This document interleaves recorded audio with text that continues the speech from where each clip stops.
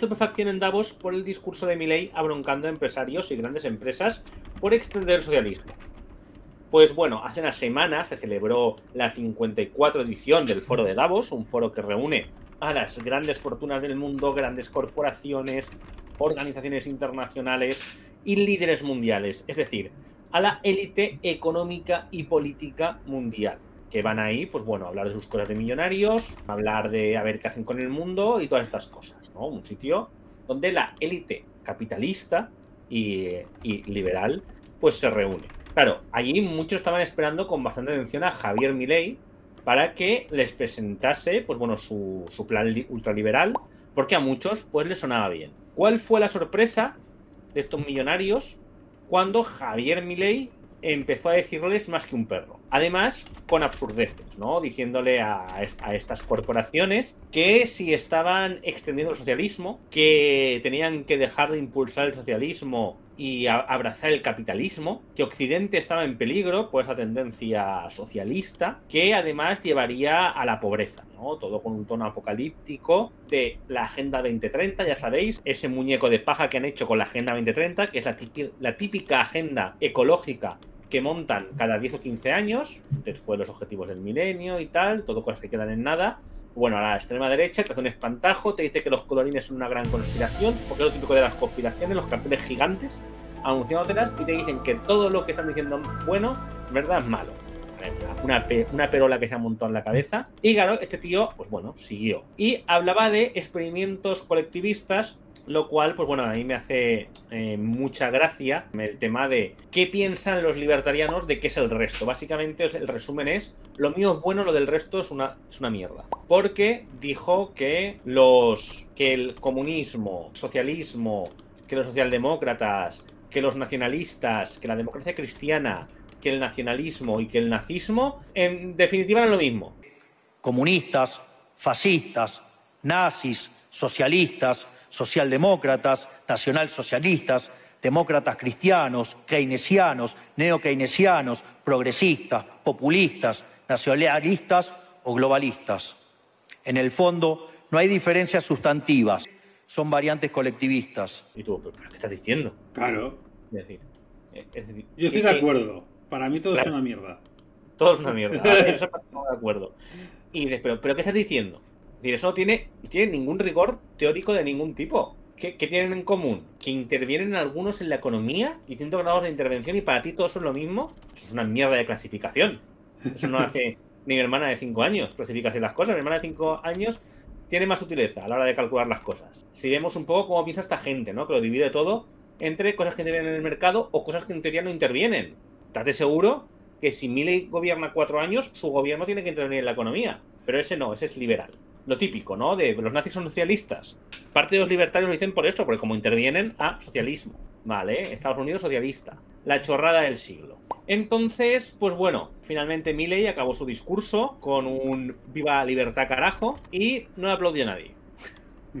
¿Vale? No aplaudió nadie más que la delegación argentina lo cual fue un poco pues la sorpresa ¿no? que se llevaron estas élites económicas, estos multimillonarios, que lo que se puede hacer con la mayoría es expropiarlos, y a los que esto lo llamó socialistas, extendían el socialismo, que quiere decir que estar bastante enajenado. Y bueno, quitando eso, pues Milley eh, hizo varias reuniones, no hizo muchas reuniones con políticos, eh, un poco después de esto, la verdad es que nadie quería juntarse con él, quitando eh, David Cameron, con el que estuvo hablando de la soberanía de las Islas Malvinas, donde Milei pues tiene una posición bastante vendepatrias, un poco como todo, y con el FMI, ya que pues van a necesitar dinero para Argentina. Y esto es un poco la locura que estamos teniendo con la derecha, que tiene un miedo, un fantasma que ya no existe, ¿no? que es el fantasma del comunismo. El comunismo fue derrotado en la Segunda Guerra Mundial y no hay una ideología con poder que, es decir, capitalismo ganado a nivel global esta gente está aquí con el fantasma del comunismo, viendo comunismo y socialismo por todas partes, ¿no? Europa socialista, Estados Unidos socialista, todo socialismo. En el, mundo no existe el capitalismo ni ha existido. Lo que ha existido son socialismos diversos o, con, o estados con diversos grados de intervención, lo cual es una gilipollez absoluta. Y bueno, mientras Milley se fue a decir estas chorradas, ¿no? Y a reivindicar que es que lo había dicho muy bien, porque, oye, tenía muchas visitas. Y tú, hombre, magnífico método para elegir discursos eficaces sobre todo que tiene la razón, ¿vale? Las visitas que tienes en el YouTube. Pues bueno. Sí, de hecho estuvo, estuvo dándole dislike a todos los vídeos de los otros intervinientes y dándose like a sus intervenciones y luego publicando en sus redes sociales que era la que su intervención era la que más visitas había tenido. Y es hombre, claro, si suelto la burrada más grande del mundo en un foro público, pues es muy probable que mi vídeo de mierda se viralice.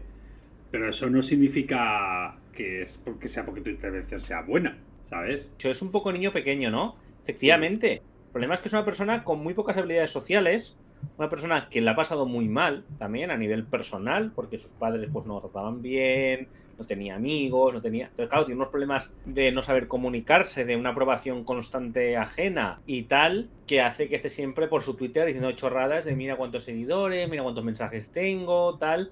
¿Qué dirías? Está muy bien si tuvieras 13, 14 años, pero un tío de 50 y pico se nota que le faltan dos patatas para el kilo, ¿vale? Mm. Que hay algo que no cierra. Mm. Pero, pero bueno.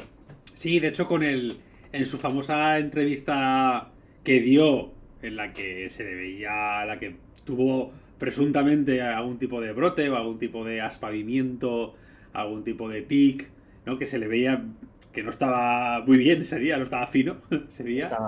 Eh, Miran a la señorita por internet.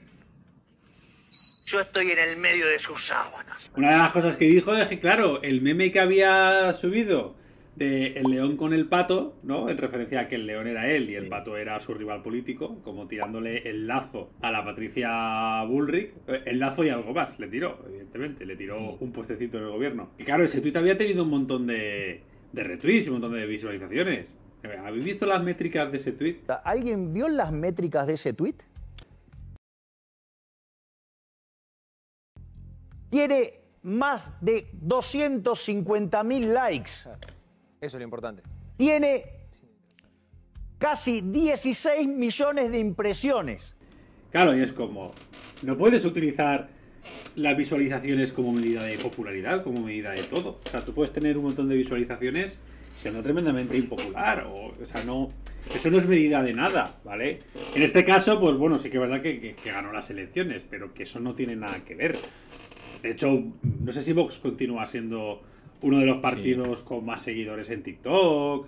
Eh, no sé. puede ganar en casi todo de visualizaciones y métricas en redes. La claro. es que, es que cuando tú. Claro. Ganador de hecho, la extrema derecha, que lo hemos dicho un montón de veces, la extrema derecha gana muchos enteros eh, y gana mucha visualización y mucha extensión mediática gracias a la polémica constante y a la controversia constante.